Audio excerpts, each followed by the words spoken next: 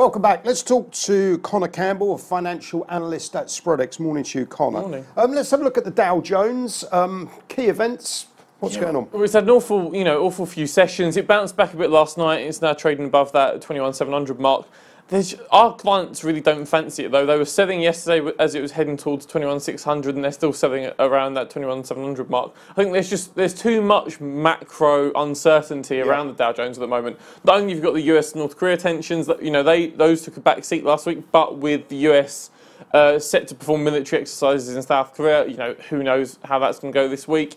Then you've sort of got Trump's domestic house as well. He seems to have announced that he's going to send more troops into Afghanistan this morning. And if you're a cynic, you could argue that that was him just trying to distract from, you know, the latest key personnel departure in Steve Bannon last week, uh, continue sort of displeasure with his reaction to Charlottesville, and most importantly, uh, Gary Cohn, who's his sort of key uh, economic advisor, the person that would ostensibly push through the infrastructure and tax plans, he was reportedly disgusted with Trump's comments around Charlottesville. And there was a lot of speculation last week whether he would resign.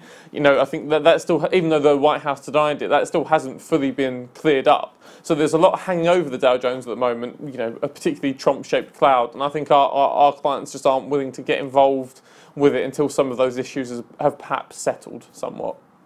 Connor, thank you very much indeed.